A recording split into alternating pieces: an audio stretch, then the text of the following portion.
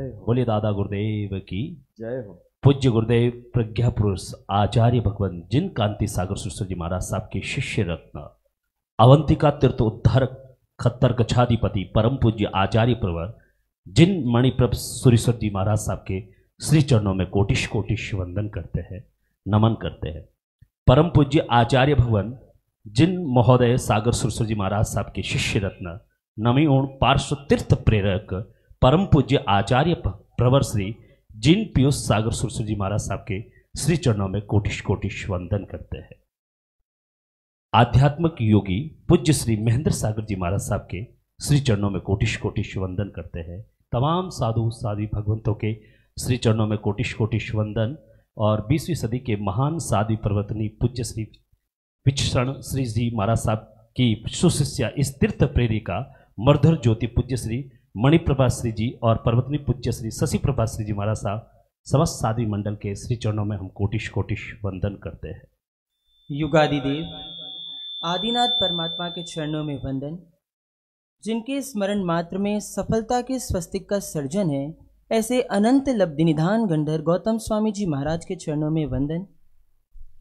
जिन हस्ती से जैनों की बस्ती है, ऐसे युग प्रधान युग पुरुष चारों दादा गुरुदेव के चरणों में वंदन। खड़तर गच्छाधिपति स्वर्गीय आचार्य भगवान श्री जिन आनंद उदय महोदय कैलाश सागर सुरेश्वर जी महाराज साहब के चरणों में वंदन। Just dial for each and every question just dial for each and every question faster than Google ऐसे परम पूज्य खड़तर गच्छाधिपति आचार्य भगवान के चरणों में शत शत वंदन, नमन। मधुरता और मृदुता के ओवरफ्लोइंग टैंक मधुरता और मृदुता के ओवरफ्लोइंग टैंक संयम साधना में फ़र्स्ट रैंक ऐसे मम जीवन सतपथ प्रदर्शक परम पूज्य गुरुदेव आचार्य भगवान के चरणों में शत शत वंदन, नमन। पापी को पावन करने वाले परम पद के परम साधक, समस्त मुनिमंडल के चरणों में सादर वंदन, अनुवंदन। चंदन बालाजी की पाठ परंपरा को शोभ रहे समस्त साध्वी जी भगवंत, उपस्थित धर्म प्रेमियों इसी जयपुर नगर की घटना है। वैशाख और जेठ माह की, यानी कि मई और जून की भीषण गर्मी, और जयपुर की गर्मी जयपुर वाले बहुत अच्छे से जानते हैं। तो मई और जून की गर्मी, और उसमें भी समय कौन सा? दोपहर के 12 बजे का समय। ऐसी भीषण गर्मी में, चिलचिलाती धूप में, तपती धूप में भाई मुन्ना लाल जी अपने घर से निकले हैं और गरम कोट पहन करके निकले हैं। गरम कोट पहन करके बिल्कुल बीच सड़क में चल रहे हैं, जहाँ सूर्य की किरणें सीधा तप रही हैं। चलते चलते आगे बढ़े हैं और उन्हें रास्ते पे एक दुकान दिखाई दी। कौन सी दुकान दिखाई दी? पता है क्या जयपुर वालों को? शायद मैं नाम बताऊँ तो आप लोग पहचान जाएँ। रावत मिष्ठान भंडार। सुना है आप लोगों ने नाम? क्या फ़ेमस है रावत का? कचौड़ी। तो बस उस मुन्ना लाल भाई को भी रावत मिष्ठान भंडार की गरम गरम तीखी कचौड़िया देख के क्या आ गया? मुँह में पानी आ गया। अब वो तो देखो, स्टेशन रोड से गुजर रहे थे, इसलिए क्या दिख गया? रावत दिख गया। राजा पार्क से गुजर रहे होते तो शायद शंकर समोसा याद आ जाता। तो घटना कहाँ की है? जयपुर की है। इसलिए सारी दुकानें भी कहाँ की है? जयपुर की है। या मैं यूँ कहूँ कि चाँद पोल से गुजर रहे होते तो क्या याद आ जाता? किसके टिकड़े? टिक्कड़। किसके? महावीर के टिक्कड़। तो बस मुन्ना लाल भाई, इधर गुजरे हैं और गरम गरम कचौड़ियाँ देख के मुँह में पानी आ गया है। तीखी और गरम कचौड़ी है। रहा नहीं जा रहा है। और कचौड़ी खाने लग गए। एक कचौड़ी खाए, दूसरी कचौड़ी खाए। लेकिन जैसे ही तीसरी कचौड़ी अपने मुँह में डालते हैं, और क्या होता है? एकदम अंदर से बेचैनी और जलन चालू हो जाती है कि अरे क्या करूँ, क्या ना करूँ, उनको कुछ भी समझ में नहीं आता है। और सोचो, वास्तव में उस समय अगर कोई समझदार व्यक्ति मुन्ना लाल भाई के पास बैठा होगा तो उन्हें क्या सलाह देगा? आप लोग होते तो क्या सलाह देते? भाई, सबसे पहले तो ये जो इतनी गर्मी में गर्म कोट पहने हो, उसको क्या कर दो? उतार दो। दूसरा, तुम ये तीखी और गरम गरम जो कचौड़ियाँ इस गर्मी में खा रहे हो, वो खाना छोड़ दो, बंद कर दो।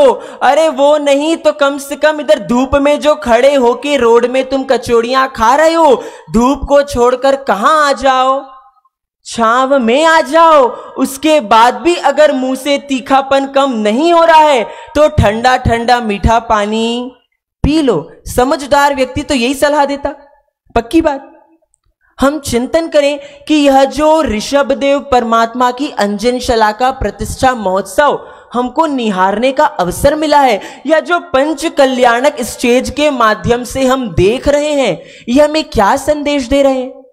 देखो मुन्ना लाल भाई को सीख देने में तो अपन कितने उस्ताद निकले, कि हमको पता था उनको क्या सीख देना है, लेकिन वास्तव में ये परमात्मा की अंजनशला का प्रतिष्ठा महोत्सव यह पंच कल्याणक महोत्सव हमें भी क्या सीख दे रहा है कि इस अनंत काल की संसार यात्रा में हम जो कषायों का कोट पहन करके रखे हैं, इस अंजन शला का प्रतिष्ठा महोत्सव में हम उस कषायों का कोट क्या कर दें?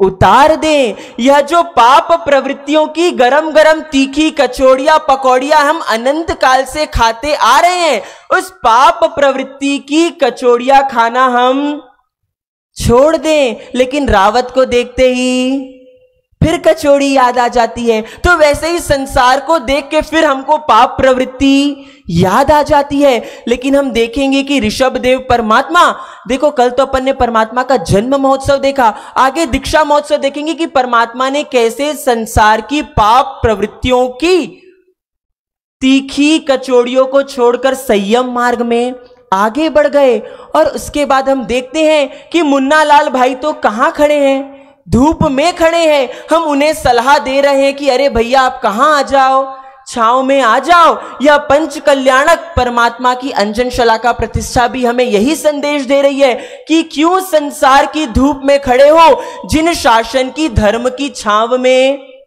आ जाओ। कि क्यों तुम बार बार क्या कर रहे हो? पापों का पानी पी करके अपने आप को और क्या कर रहे हो?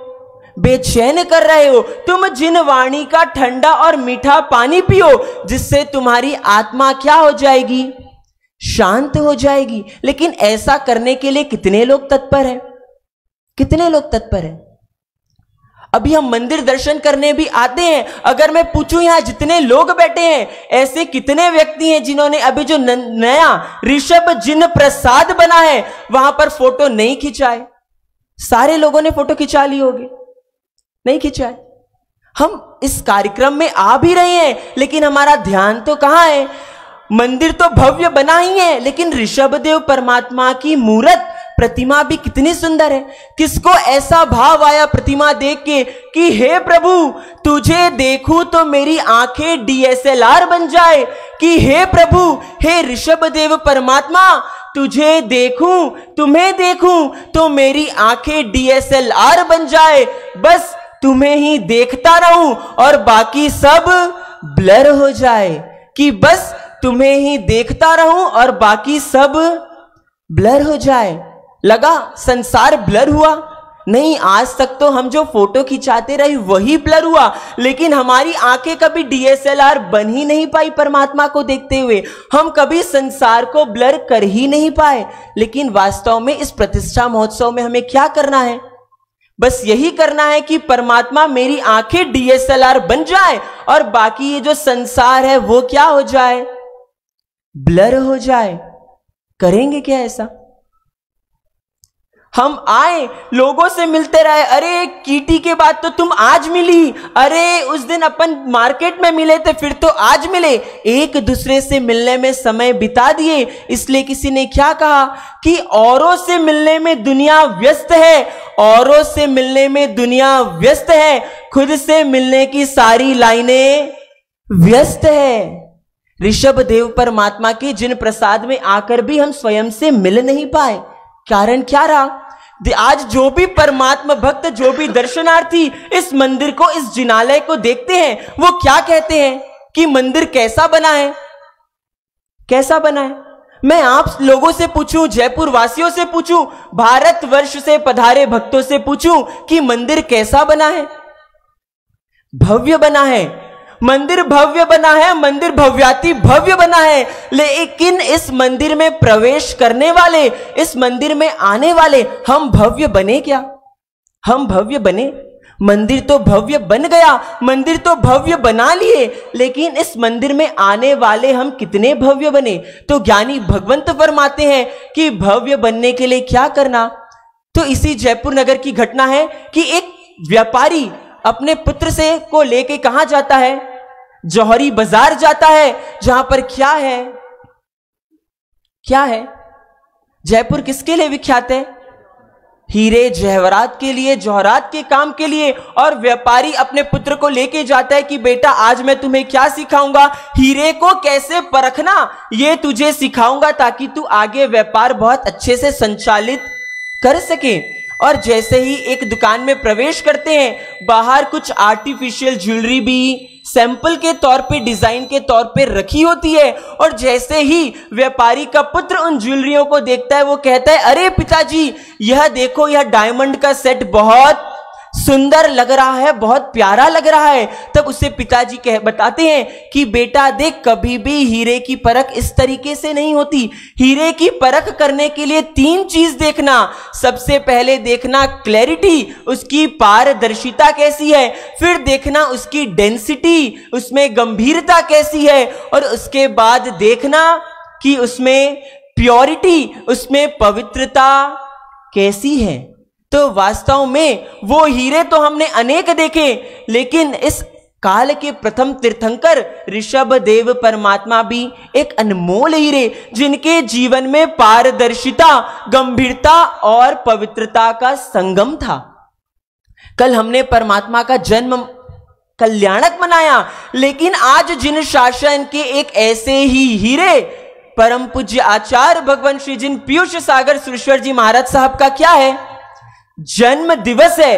कल हमने परमात्मा का जन्म कल्याणक मनाया और आज एक प्रसंग उपस्थित हुआ है आचार्य भगवंत के जन्म महोत्सव का। हम आचार्य भगवंत के जीवन को भी देखें तो वो जिन शासन के एक ऐसे हीरे कि जिनके जीवन में क्लैरिटी है, पारदर्शिता है, यानी कि बाहर जैसे, अंदर जैसे हैं, वैसे ही बाहर भी हैं। पर्दे के पीछे अलग नहीं, पर्दे के बाहर अलग नहीं, जिनके जीवन में पारदर्शिता है, जो जैसा है वैसा देखते हैं, जो जैसा है वैसा जीते हैं, और जो जैसा है वैसा बताते हैं। जिनके जीवन में डेंसिटी है, अर्थात गंभीरता है, जो बोलते तो कम है, लेकिन अपने मौन से ही बहुत बड़े बड़े सदुपदेश दे जाते हैं। देखिए, किसी ने क्या कहा भी है कि बोलना अगर चांदी है तो चुप रहना सोना है तो वास्तव में मौन की साधना भी कोई सहज साधना नहीं है, जो अल्पभाषी हैं, लेकिन जिनका व्यक्तित्व ही सब कुछ बोल देता है, जिनके जीवन में पवित्रता है। देखिए बंधुओं धर्म प्रेमियों होता क्या है? हम पुण्य को देखते हैं। पुण्य से व्यक्ति को प्रसिद्धि, प्रतिष्ठा मिल सकती है। लेकिन अगर जीवन में शांति, समृद्धि, आत्मिक समृद्धि और समाधि और अंत में सिद्धि चाहिए तो उसके लिए तो जीवन में क्या होना ज़रूरी है? पवित्रता। पुण्य तो आपको प्रसिद्धि और प्रतिष्ठा दिला देगा, लेकिन जीवन में पवित्रता होगी तो हमें शांति, समाधि और सिद्धि प्राप्त हो सकती है। आज ऐसा अनुपम अवसर एक ऐसा प्रसंग बना है, ऋषभ जिन प्रसाद की प्रतिष्ठा, प्रभु का पंच कल्याणक कोई भी प्रसंग बनता है तो उसके पीछे निश्चित तौर पर क्या होता है? कोई ना कोई प्रेरणा होती है, क्योंकि बिना प्रेरणा के कोई प्रसंग नहीं होता। और अगर बिना प्रेरणा के होता है तो वह महज एक संयोग होता है, प्रसंग नहीं होता। तो वास्तव में आज जो प्रसंग बना, उसके पीछे प्रेरणा किसकी? किसकी? मरुधर ज्योति साध्वी रत्ना परम पूज्या, मणिप्रभा श्री जी महाराज साहब। जयपुर जिनकी जन्मभूमि है और जन्मभूमि होने के साथ साथ क्या है? तीर्थ भूमि भी है, कारण कि उनकी गुरुवरिया, तन्मय व्याधि, मन में समाधि, समन्वय साधिका, विचक्षण श्री जी महाराज साहब की यह क्या है? समाधि भूमि भी है। आज हम जिनालय को देखते हैं तो कितना विशाल जिनालय। लेकिन ये विशाल जिनालय यूँ ही बन पाया क्या? इस विशाल जिनालय के निर्माण में लगा विशाल पुण्य साध्वी रत्ना जी का। इस विशाल जिनालय के निर्माण में लगा विशाल पुरुषार्थ मणिप्रभा श्री जी महाराज साहब का। और देखिए, ये जिनालय का कार्य पूरा हुआ तो निश्चित मानना प्रभु कृपा और गुरु कृपा, इन दो कृपाओं के बिना कोई भी कार्य पूर्ण हो सकता नहीं है। तो वास्तव में जिन पर गुरुवरिया श्री की कृपा सतत बरस रही है, निश्चित तौर पर विचक्षण श्री जी महाराज साहब का अविरल आशीर्वाद जिन्हें प्राप्त हो रहा है, साध्वी रत्ना मणिप्रभा श्री जी महाराज साहब, उन्हें भी हार्दिक शुभकामनाएँ हैं कि जिनकी प्रेरणा से ऐसा उतुंग विशाल शिखर का जिनालय यहाँ निर्माण हुआ है। और भारत भर के श्रावकों का, भारत वर्ग के भक्तों का अगर सहयोग नहीं मिलता तो शायद ये कार्य पूर्ण नहीं हो सकता। देखिए, प्रेरणा तो मिली, लेकिन इस प्रेरणा को पूर्णाहुति तक ले जाने वाला कौन? श्री जैन श्वेतांबर खड़तरगच्छ संघ, जयपुर। जब इतने सारे साधु साध्वी भगवंतों को आज एक मंच पे देख रहे हैं तो आयोजक किसका, किसके आयोजकत्व में यह कार्यक्रम हो रहा है? और आज से हम 20 वर्ष पहले जाएँ तो मालपुरा तीर्थ की प्रतिष्ठा, उसके भी आयोजन करता कौन? वो भी एक ऐतिहासिक ऐतिहासिक प्रतिष्ठा और यह भी एक ऐतिहासिक प्रतिष्ठा।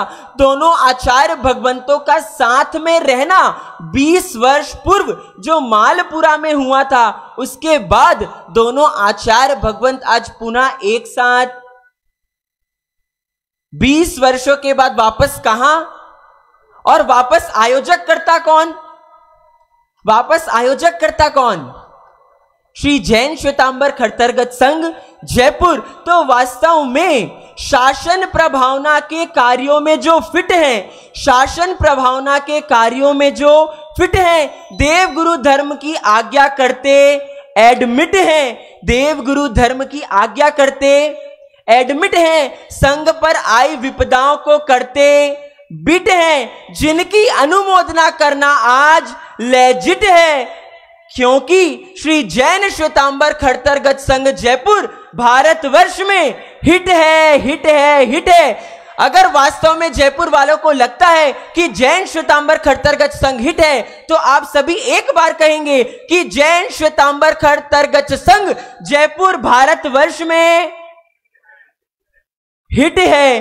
तो जैन श्वेतांबर खड़तरगत संघ जिनका विशेष विशेष इस कार्य को, इस प्रेरणा को पूर्णाहुति तक ले जाने में जिनका विशेष विशेष योगदान रहा, उसमें भी श्री प्रकाश चंद जी साहब लोढ़ा, श्री विमल चंद जी साहब सुराना इसके साथ ही जो जयपुर संघ को एक अनुपम लाभ मिला, जिनके हृदय में क्या? रोम रोम में प्रगटे नाद, संयम का दो आशीर्वाद। रोम रोम में प्रगटे नाद, संयम का दो आशीर्वाद। जिनके हृदय में ये नाद चल रहा है, ऐसी मुमुक्षु बहना, श्रद्धा का भी ग्यारह तारीख को यहाँ क्या है? दीक्षा महोत्सव है और इसके साथ साथ ही देखिए प्रतिष्ठा भी है प्रव्रज्या भी है और साथ में पद प्रदान महोत्सव भी है। परम पूज्य अध्यात्म योगी महेंद्र सागर जी महाराज साहब, युवा मनीषी मनीष सागर जी महाराज साहब का क्या है? उपाध्याय पदारोहण है। तो सकल श्री संघ को, जयपुर संघ को ढेर सारी हार्दिक शुभकामनाएँ। मुमुक्षु श्रद्धा जी को भी शुभकामनाएँ कि वे जिस शौर्य के साथ प्रभु के पद पर आगे बढ़ रही हैं, उनका मार्ग निष्कंटक बने, निष्कलंक बने। एवं बस जिस दिन 11 तारीख को ऋषभ देव परमात्मा कहाँ गादी नासीन होंगे? ऋषभ जिन प्रसाद में परमात्मा विराजेंगे और उसके साथ साथ हमारे भी हृदय में दादा आदिनाथ की प्रतिष्ठा हो जाए, दादा आदिनाथ हमारे हृदय में विराजमान हो जाए। यही शुभकामना, यही मंगल भावना, जिन आज्ञाव्रत कुछ भी कहा हो तो मन वचन काया से मिच्छा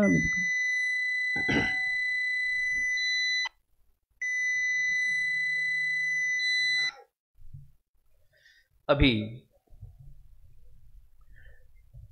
मुनि शाश्वत रत्न सागर जी ने जयपुर संघ के पुण्योदय की, परमात्मा के मंदिर की,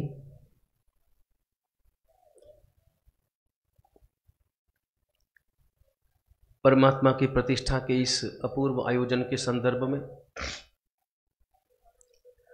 और अभी मुझे तो अभी मालूम पड़ा कि आज पीयू सागर जी का जन्मदिन भी है।